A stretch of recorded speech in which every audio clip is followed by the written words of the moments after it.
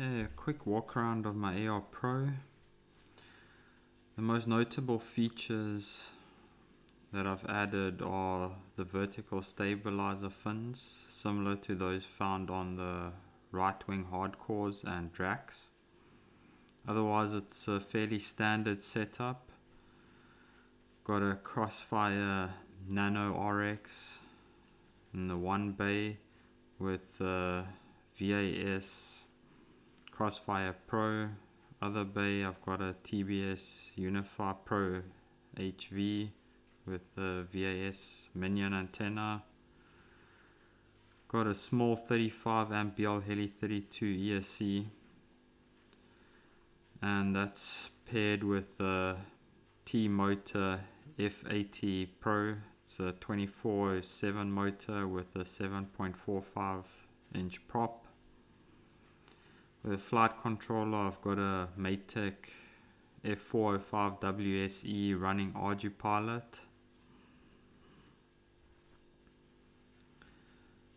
And that's about it for the main setup. The nice thing with running the lighter motor on the back is I don't have the balancing issues that are common with the AR Pro. I have a small Polaroid Cube camera in front which balances it quite nicely with an additional 10 grams of weight in the nose. The most notable change on my AR Pro is the vertical stabilizers, which solves a common yaw wag issue on the AR Pros. I didn't want to create two big vertical stabilizer fins since it already has fins on the winglets for the yaw stabilization. But I think I found a nice balance with the size of yaw stabilizers that I've added on. They essentially slot into the wing joints and I've just hot glued them in from there. They seem to hold pretty stable in that position and I haven't had any issues with them since Here's some flight footage on a fairly calm day over the ocean. There were a few little gusts around, but as you can see, it's flying quite stable. This is the maiden on RG Ardupilot, so no auto tune has been done on it yet, and it's flying fairly stable.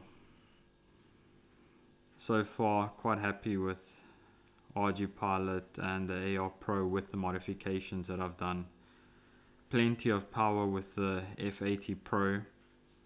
Launch was at 15 amps only. Seems to get into the air nicely without too much throttle. My first maiden with iNav with 100% throttle, I had a close disaster situation with a lot of torque roll. Luckily, I had a bit of elevation so it managed to correct itself from there and not crash. But I would definitely suggest anyone go maybe 60 70% throttle on the AR Pro for launch and do a fairly flat throw. It seems to get into the air nicely that way. And from here this was just my short maiden to do a quick test flight of the Ardupilot firmware. My first time on Ardupilot, fairly impressed with the maiden flight performance and the stability. And that's about it for my AR Pro. I will be adding the link to the STLs in the video description.